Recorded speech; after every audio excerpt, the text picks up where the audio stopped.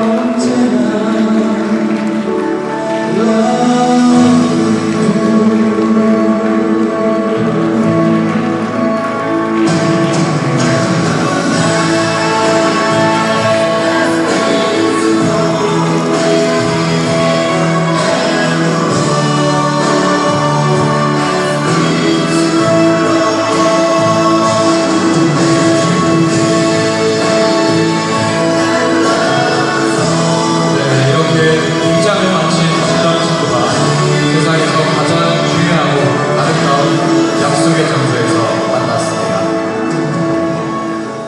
이제 신랑 박상훈 군과 신부 이현진 양.